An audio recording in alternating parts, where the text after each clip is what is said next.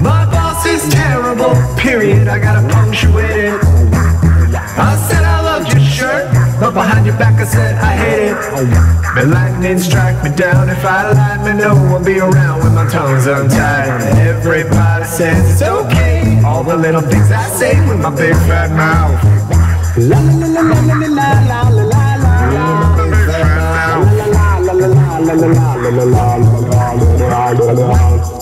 My big fat mouth gets me in trouble.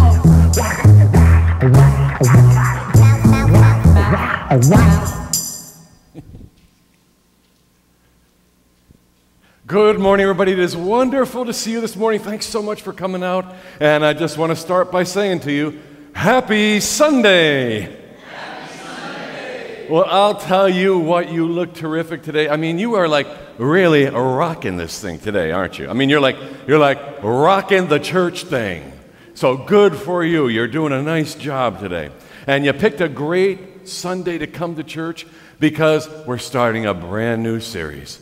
My big fat mouth. I know what you're thinking. He's preaching to himself here again. Yeah, my big fat mouth always gets me into trouble. And just to kind of start this whole thing off right now, I'd like to begin by showing you a picture of my family vacation from 10 years ago. There we are, the happy family.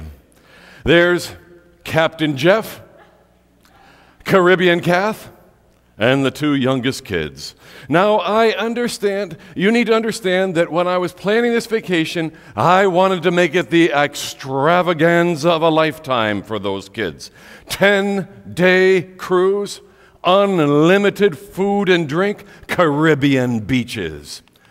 Okay, so we're on this cruise. Day one, my kid comes to me.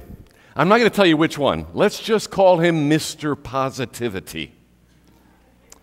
So the kid comes to me and he says, I'm bored. I'm like, wait, what? This is day one. You're on this fabulous ship. You're bored? Uh, you know what I felt like doing? I wanted to hit him over the head with one of my sermon points. Like, there are no boring days, there's only boring people. I love when I do that. That's my style of discipline. You understand a lot about my kids now, right? So day two comes along. And these are the words that spill from the lips of Mr. Positivity. There's nothing to eat on this boat. Folks, can we talk? Do you think they're trying to starve us on a cruise ship? I don't think so. Day three.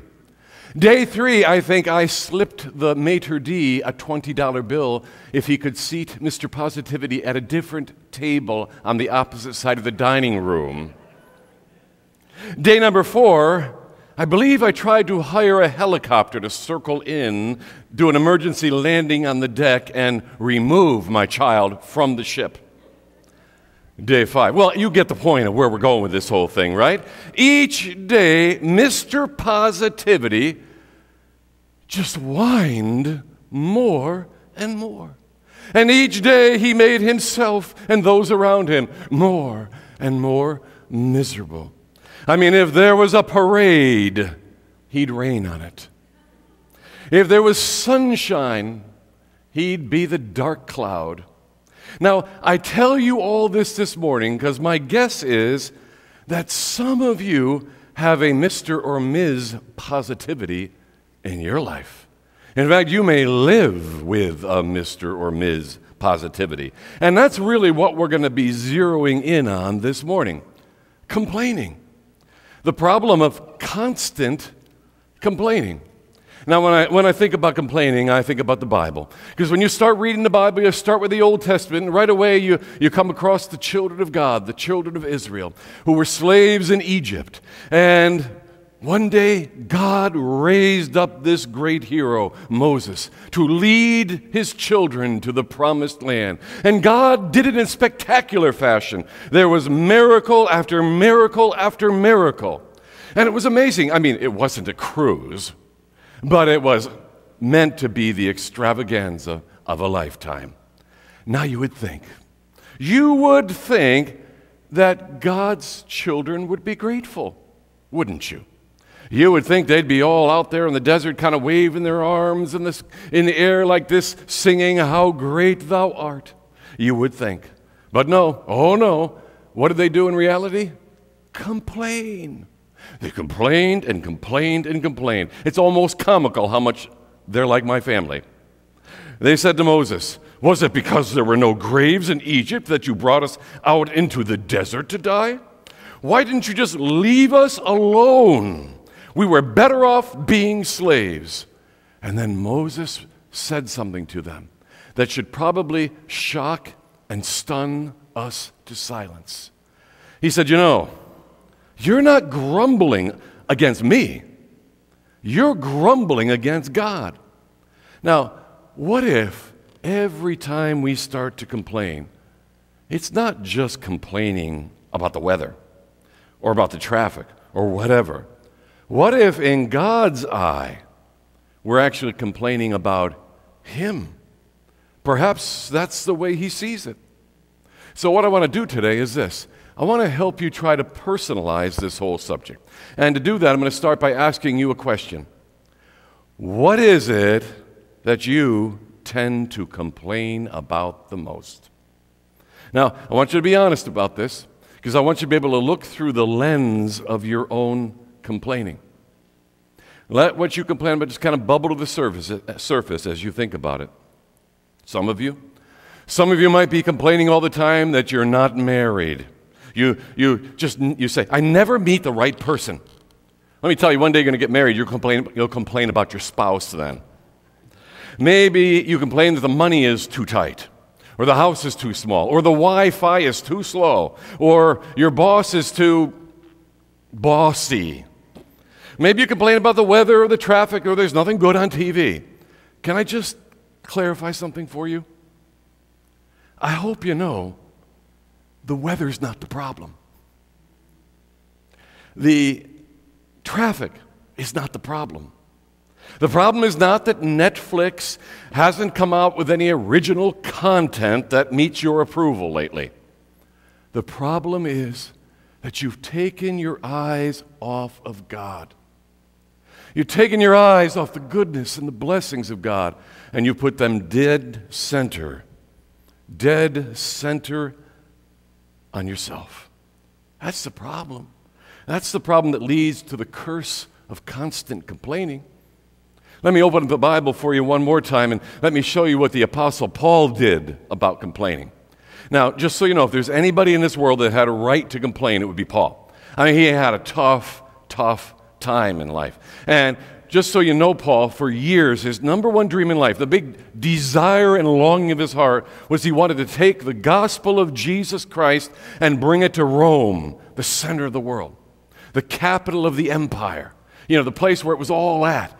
He thought, if I can do that, man, I've made it then. So that was his big dream go to Rome as a preacher. But as he was working towards that goal, something happened. He got arrested. He got accused unfairly and arrested. And he wound up being dragged to Rome in chains. He became a prisoner rather than a preacher in Rome. Now, picture Paul was locked up 24 hours a day, seven days a week, chained to a Roman guard. This went on for two years while he was awaiting trial and possible execution. Can you imagine yourself being in that position? Can you imagine how those chains would rub your wrists raw? Can you imagine if every time you move or you turn over when you're trying to sleep, you hear those chains clank? That, that guard, that st- person you don't even know, a stranger, is attached to you. You can't even roll over. And I'll, I'll be honest with you. If that's me in that situation, I'm going to be whining, right? I'm going to say something like, I wanted to be a preacher, and now I'm a prisoner.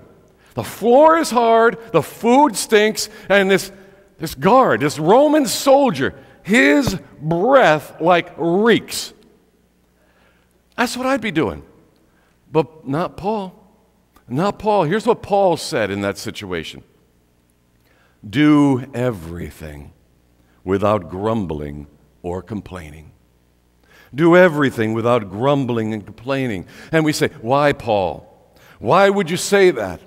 Well, first of all, repeated complaining hardwires the brain. Did you know that? Repeated complaining hardwires your brain to do, guess what?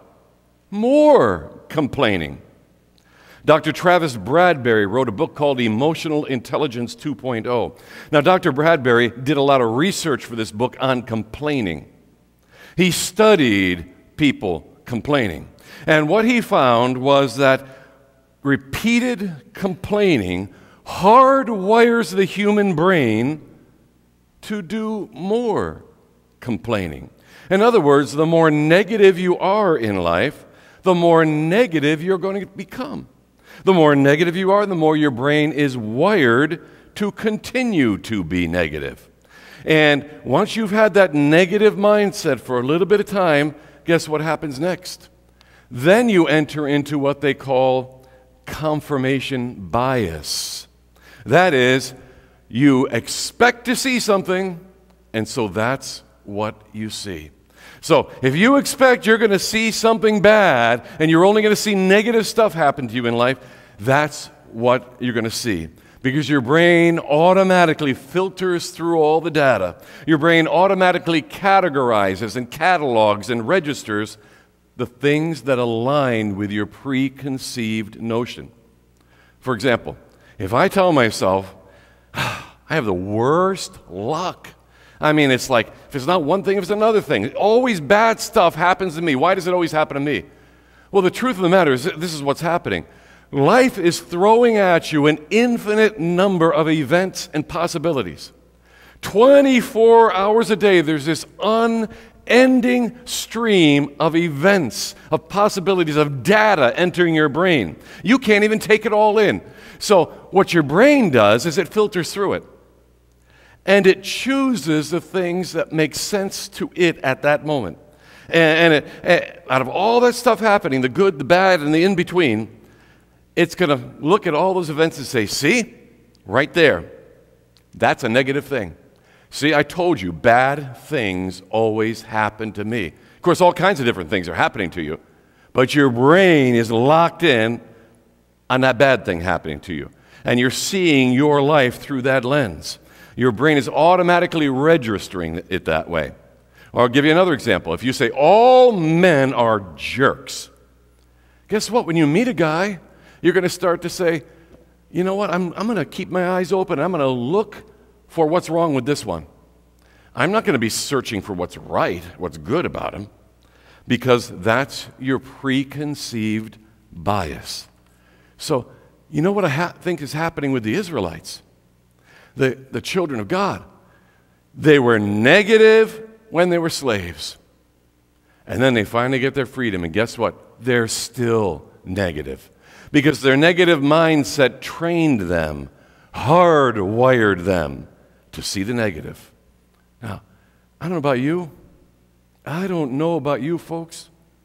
But I don't want to go through life looking for what's bad. There's already enough bad stuff in this world. I want to kind of train my brain to see the good.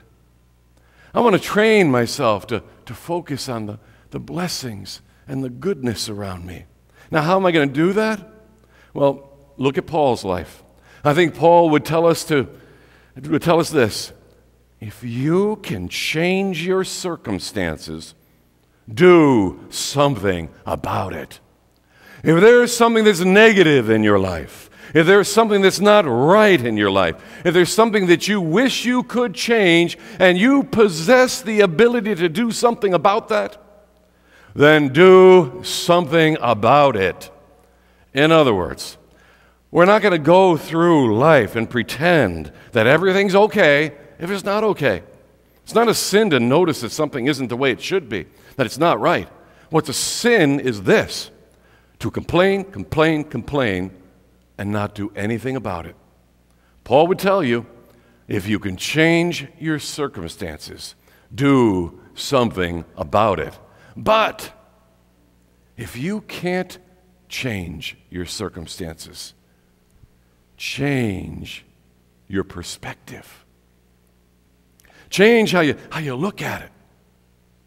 Change how you think about it.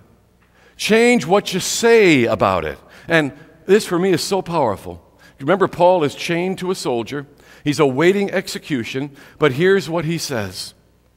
But even if I, I love that phrase, but even if I am being poured out like a drink offering, I am glad and rejoice with all of you. And you too should be glad and rejoice with me. Now you say, Jeff, I'm not following you here. What is he talking about being poured out? Being poured out like a drink offering. Well, let me explain real quickly.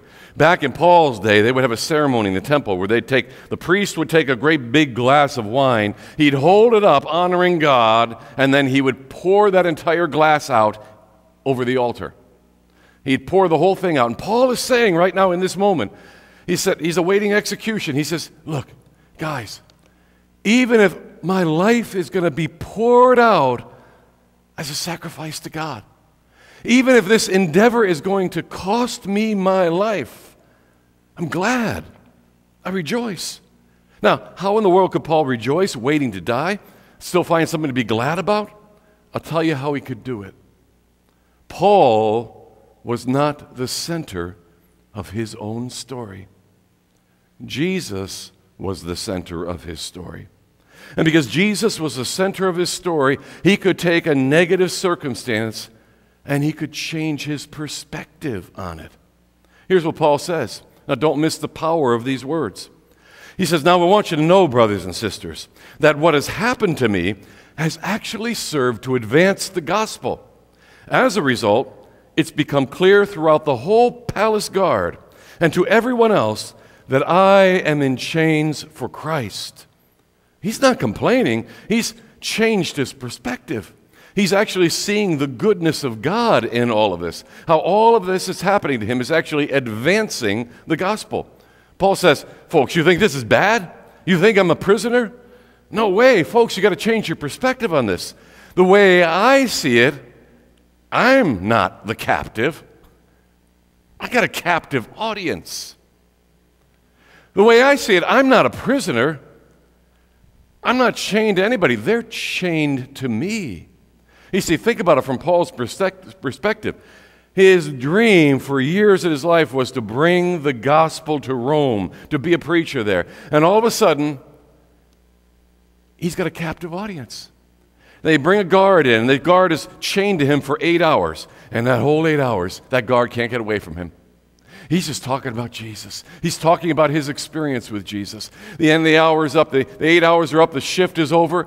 They take one guy away, they bring in the next guard. Now he starts talking about Jesus to that guard. Pretty soon he's going through all the ranks of the palace guard. And beyond anything Paul could ever have dreamed, in a very short time, the actual palace of Caesar all knows the name of Jesus. And they're all talking about what's going on with Jesus. And they all know this man that is in the dungeon there is in chains for Christ. And you think about it. Paul dreamed of coming to Rome to preach. And God just gave him a captive audience. God has a funny way of working, doesn't he? Now, Paul in his life was chained to a soldier. Let me ask you this What are you chained to? What is it that you complain about all the time and you just feel like you're, you're locked to it, you're chained to it? Now, try not to say my husband. but look, maybe it is a very difficult relationship. Or maybe for you it's a financial problem because, you know, you kind of dug yourself into a hole over the years and you're not sure how you're going to get out of it. Maybe for you it's a job situation. Or maybe it's a, an addiction that just has a grip on you. Or maybe, maybe for you it's a health issue. Well, I'll tell you what. If you can do something about it, do it. If you can bring your A game, bring your A game. If you can work a little bit harder, work harder. If you can get counseling, get counseling. If you can get yourself some help, get yourself some help. If you can do something, do it. But if you can't change your circumstances, change your perspective. change the way you look at it, change the way you think about it, change the way you talk about it. Rather than complaining about something that you cannot change, choose to see your God's presence and power, even in the middle of these circumstances that you would never, ever choose for yourself. What am I saying? Be like Paul. Just say, but even if. Even if my greatest prayer that I pray my whole life doesn't get answered the way I want it to be answered, even if I never get myself out of this situation that I wish I wasn't in, even if I will still praise my God because He is good. His presence is with me. His power is in me. And so I'm going to praise God with everything that I've got in me. Friends, have you been hardwiring your brain towards the negative? You know you can change that. You have a choice. You can rewire that brain of yours. You can. With God's help. Starting now, we bow our heads. Father, I pray for those who are going through some real, real difficulties in their life right now. For those who are going through significant trials. I ask that right now, at this moment, they would feel your presence. I pray that they would experience your power. You know the details of their situation. So, Father, we ask you to show them your goodness. And, Father, it's so easy to complain. And it's like, you know, the more I do it, the more I find to complain about. I guess it's true. I really am hardwiring my brain. And from now on, Father, if I can do something about my circumstances, I'm going to do it. I'm going to. I'm not just going to sit around whining and complaining. And if I can't change my circumstances, I'm going to change my perspective. Help me train my brain. Train my brain to see the good in every situation. And friend, if you've never invited Jesus into your life in any real way, you've never really surrendered your life to Him completely, I want to pray especially with you right now. Would you just pray like this? Jesus, I want you in my life. I've tried to manage life my own way, and I keep making a mess of things. So I give my life to you. I place it in your hands. I guess what I'm saying is count me in. I'm all in. And if you're already a devoted Jesus follower, I want to pray with you too. Would you say this? Lord Jesus, I don't want my life to be all about me, my desires, my complaints. I don't want me to be the center of my story. I want you, Jesus, to be the center of my story. I want you to be featured in every chapter. And I want my life story to have a happy ending in heaven with you. Thanks again for everything, Lord. Amen.